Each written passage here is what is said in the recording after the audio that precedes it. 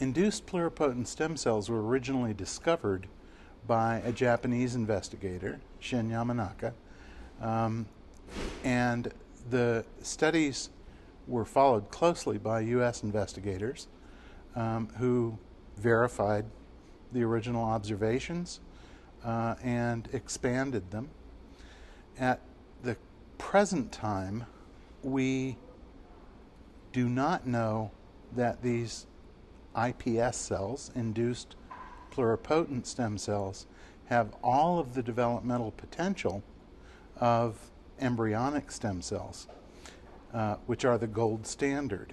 So we're um, continuing to very avidly uh, examine the properties of those cells to see if they really do contain all of the properties we expect of embryonic stem cells. There have been claims that adult stem cells have been used to cure 70 plus diseases. Um, those claims, when examined carefully, uh, are uh, totally specious. Um, many of the diseases uh, that have been claimed uh, to have been cured by adult stem cells have not been done in um, a controlled fashion. That is, they are anecdotal stories of um, uh, cures that haven't been verified in the scientific community. The ones that have been verified uh, time and time again are cures for leukemia by hematopoietic stem cells. And in fact, a number of other blood diseases have been cured by these same hematopoietic stem cells.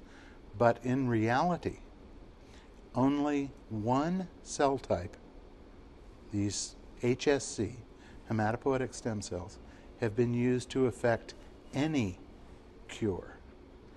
So um, when people say that 73 diseases have been cured using adult stem cells, uh, nothing could be further from the truth. It's in fact one very tightly um, uh, uh, and well understood group of blood diseases. Scientists and physicians have been working with hematopoietic stem cells, blood forming stem cells, since uh, approximately 1940 to 1945.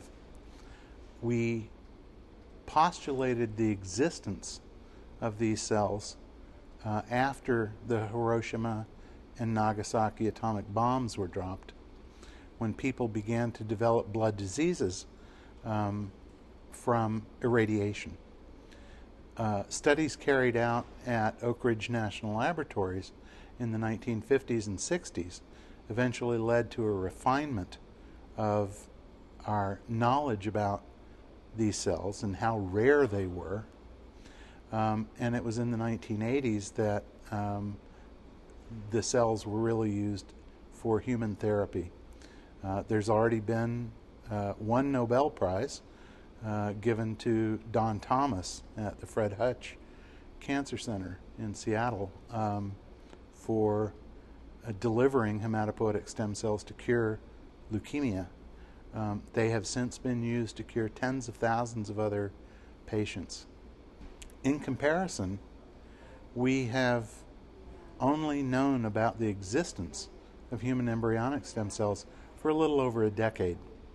Now, it took something on the order of three to four decades to develop um, uh, hematopoietic stem cells into a therapeutically useful form to go from the laboratory into the clinic.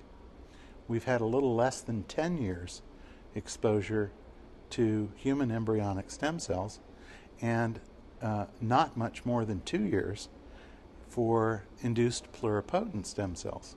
So, even though we're making, I think, tremendous progress, um, it's unlikely that we're going to see these in the clinic in we might see them in the next five years, which would still be amazing progress uh, considering the historical context. So, one of the questions uh, that the public uh, might raise is why do we need to study uh, embryo- human embryonic stem cells if IPS cells, off- induced pluripotent stem cells, offer such tremendous potential?